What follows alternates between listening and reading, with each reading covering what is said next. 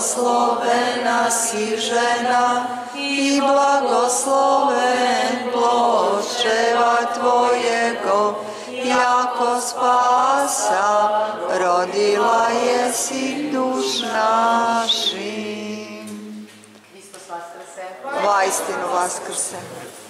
Hristos vaskrese iz mrtvih, Smrti u smrt popravi, sušivo groblje, život darova. Hristos voskrese iz mrtvih, smrti u smrt popravi, sušivo groblje, život darova.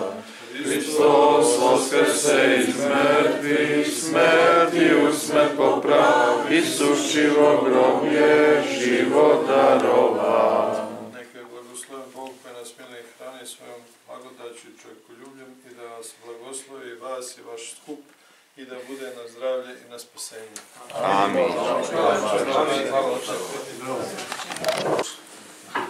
E pa evo ovako, sabro smo se uz Božju pomoć i dobrih ljudi ovde pri manastiru Svetih Arhangela, pristanu u zadužbini našeg velikog cara Dušana na treću demokratsku konferenciju Saveza za život i prijatelja, znači regionalne mreže, udruženja i eksperata, stručnjaka Srbije, Crne Gore, Republike Srpske, koji se bave ovim velikim problemima našim, demografije, bele kuge, abortusa, to je utrobnih čedomorstava i svim ovim drugim problemima koji pritiskaju naš narod decenijama i koji su doveli do vrlo loših rezultata. Nije slučajno što smo ovde, velika je simbolika i veliki je značaj. E, na praznik Svetog Vasilija Ostroškog 1952. godine su Josip Broz Tito i komunisti legalizovali i dozvolili abortuse, to je utrovno čedomorstvo ubijanja dece.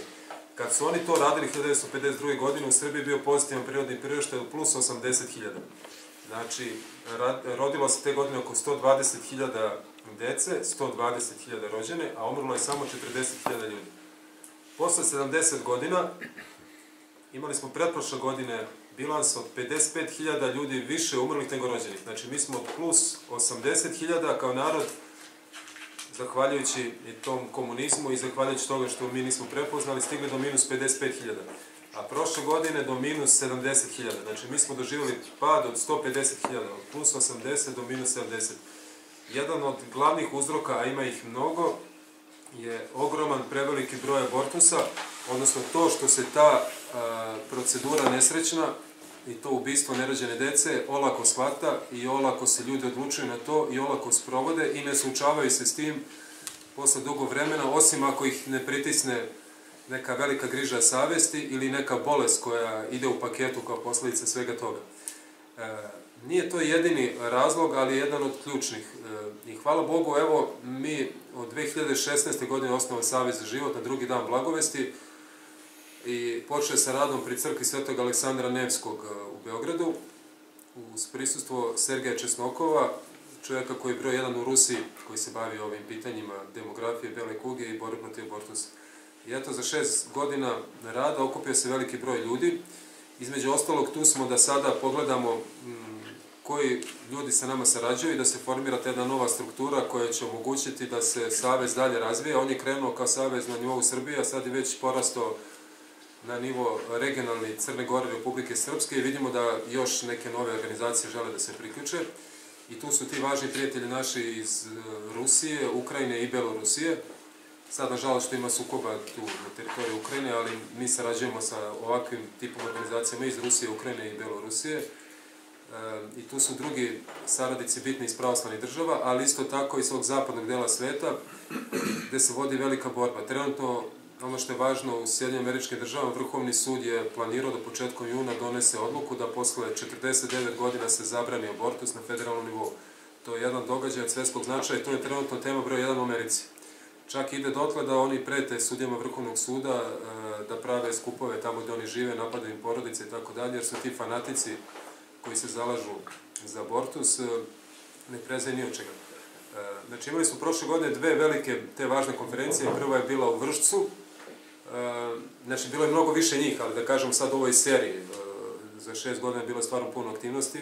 Tu moram da pomenem Blagovesnu litiju, kao što znate, održano je ove godine sa blagoslovom patrijarha Porfirija, osma blagovesna litija, a pre toga s blagoslovom patrijarha Irineja, koja se odvija na blagovesti u Beogradu, od saborne crkve do Skupštine i onda od Skupštine do hrama Svetog Save. Ide se oko Skupštine sa molitvom za okončanje nesrećnih abortusa po odluci Svetog arhijerijskog sabora iz 2013. godine, gde je Sveti arhijerijski sabor tražio od države u svoj apel lekara da se abortus zabrani. Pri tome stalno moramo da ponavljamo i da podsjećamo da se ne traži apsolutna zabrana, jer postoje neki određeni slučajevi kada abortus može da bude opravdan, kada je žena teško bolesna ili kada je smrtne opasnosti ili kada ne daj Bože, bila silovana ili i ne, neki sličnim situacijama, zbog toga crkva ne traži apsolutno i oni koji su zlonamerni stalno izvuku po neki taj primer kad je eto abortus e, bio potreban pa na osnovu toga žele i sve ostale dozvole. To je potpuno nelogično i nenaučno, neprincipijalno zato što u Srbiji sada imate situaciju da se oko dve trećine trudnoća dece začetih e, završe abortusom ubistvom deteta. I to u državi koja e, propada zbog bele kuge, odnosno depopulacije. Da li je normalno u ovakvoj našoj situaciji da imamo e, takvu praksu? E, s tim, na jednostavno, mora da se stane na, na put tome. Znači, prva bila ta konferencija u Vršcu i to zahvaljujemo Goranu Orliću koji se puno potrudio da bude domaćin u Vršcu, a druga u Požarevcu i, i Srebrnom jezeru dvodnevna konferencija, e, gde su Saša Stević i njegovi prijatelji i grad Požarevac i opština Veliko gradište i taj reon Srebrnog jezera bili domaćini. I evo sad ovo je treća ova konferencija. Četvrta bi trebala da bude verovatno Banja Luci, ali vidjet ćemo. Imamo ovako dosta jak ovaj program, pa eto da ja sad ne puno da krenemo odmah. E, vidjeli ste ovde spisak učesnika. E, još su neki pozdravi, ja ću tokom rada preneti pozdrave, recimo otac Jovan Plomenac iz Bara, koji to poslao, nego samo dok se mi pođemo malo preko interneta, pa da možemo da pročitamo tu njegovu poruku. On je bio s nama u Vršcu, došao čak iz bara u Vršac, samo da bi izneo svoje shvatanje abortusa i tih problema.